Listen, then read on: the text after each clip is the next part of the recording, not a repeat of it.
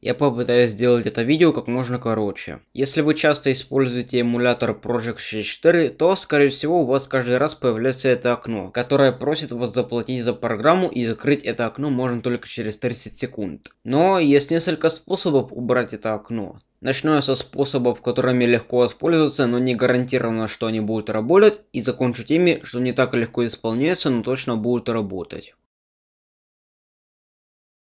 Когда у вас появляется это окно, то нажмите на введение кода и введите Thank from Project 64, как на видео.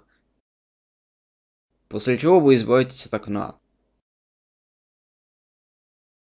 Зайдите в папку эмулятора, затем в конфиг и там откройте в каком-нибудь текстовом редакторе файл project64.cfg. В этом файле хранятся все настройки эмулятора. Там найдите строку run count и выставите в ней число минус 1. Если что, этот метод вряд ли заработает на третьей версии эмулятора. Этого всплывающего окна нет в старых версиях Project 64. Например, в 1.6.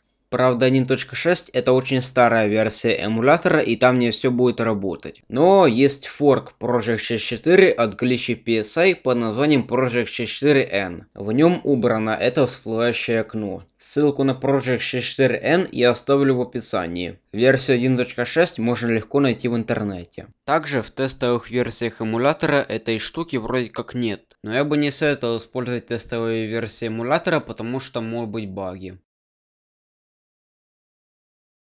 Слушайте, я не призываю вас это делать. Если не хотите, то не платите. Но все же, если у вас есть лишние деньги, то заплатите. Разработчики эмулятора старались как никак. Короче, на этом все. Всем до свидания.